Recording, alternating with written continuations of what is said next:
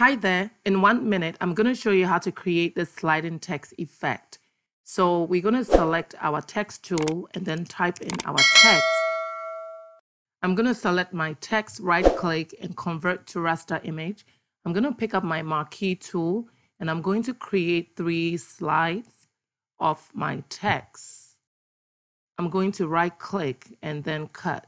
I'm going to use my move tool to move this up and I'm going to go back to my text, right click and cut, or you can move it down. I'm going to go back to my original text. I'm going to right click and then add a blending option. I'm going to create a drop shadow and then decrease opacity.